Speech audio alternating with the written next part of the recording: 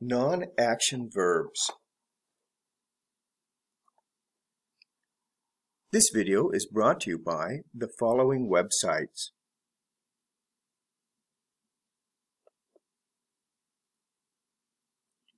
Non-action verbs. In this video, we will explore non-action verbs in English.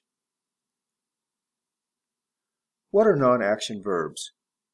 Some verbs are not normally used in the progressive tenses. They are called non-action verbs. For example, incorrect. I am liking chocolate. Correct. I like chocolate. Incorrect. She's having a new car. Correct. She has a new car. Incorrect. Flowers are smelling good. Correct. Flowers smell good. Types of non-action verbs. Non-action verbs indicate existence, perception, desire, possession, or opinion. Let's talk about each type individually. Number one, existence. Existence verbs indicate state of being. They often link or equate the subject with other parts of the sentence. For example, you can think of them as an equal sign. A equals B. A is, are, was, be. Be, seem, appear. Existence verbs are be, seem, and appear. He, doctor. He is a doctor. He, happy. He is happy. He, nice. He seems nice. More about be verbs later. Perception verbs. Like the verbs seem and appear, some verbs indicate how something is perceived by the subject. Verbs like these relate to perception or the senses. Look, sound, feel, smell, taste. You look sad today. I perceive you as sad. It feels hot in here. I perceive heat. We'll learn more about these verbs later. 3. Desire or preference. Verbs like want, like, prefer, and love are also non-action verbs. For example, we say, they like rice. We don't say, they are liking rice. We say, I want a pony. Not, I am wanting a pony. We say, Tim loves pizza. Not, Tim is loving pizza. 4. Possession verbs. Verbs indicating possession are have, own, and possess. They are also non-action verbs. Incorrect. I am having a cute puppy. Correct. I have a cute puppy. Incorrect. She is owning two houses. Correct. She owns two houses. 5. Opinions.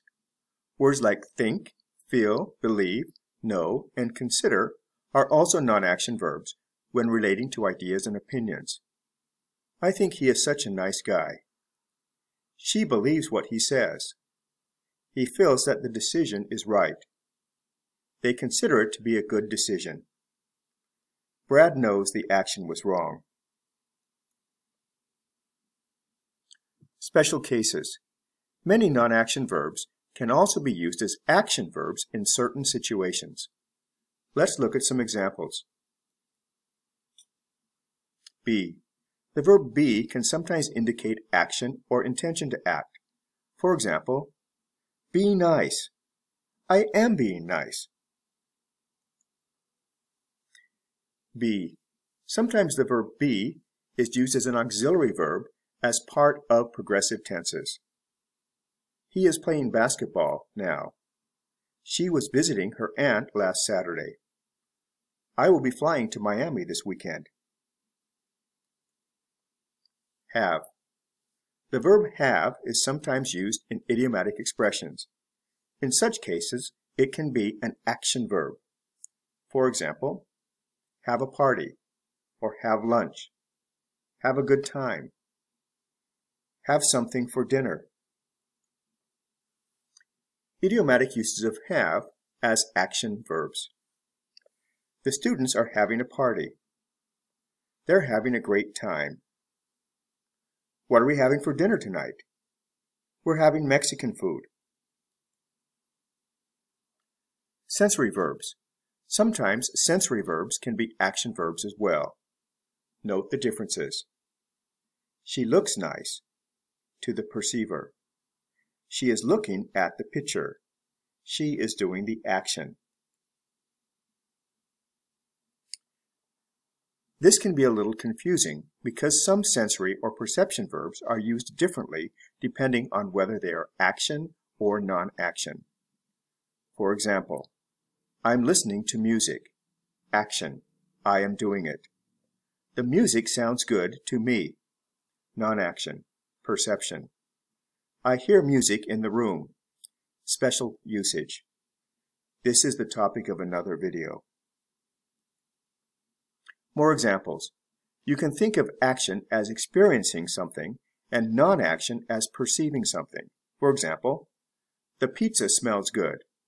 Non-action. He is smelling the flowers. Action with a purpose. Phil smells smoke. He perceives it generally. Sensory verbs. This table may help you see the differences in using action and non-action verbs of perception. Sensory verb. Non-action, action, other. Look or see. Non-action, look. Action, look at. Other, see. Hear, sound, or listen to. Non-action, sound. Action, listen to. Other, hear. Feel or touch. Non-action. Feel. Action. Feel or touch. Other. Feel. Sensory verb. Smell. Non-action. Smell. Action. Smell. Other. Smell. Taste. Non-action. Taste. Action. Taste. Other taste. We will talk about these in another video. The verb feel. The verb feel has many uses. How are you feeling today? I'm feeling a bit tired. I'm experiencing tiredness. How do you feel today? I feel cold. I perceive coldness. I feel fine. I am fine. How do you feel about the new proposal? What's your opinion?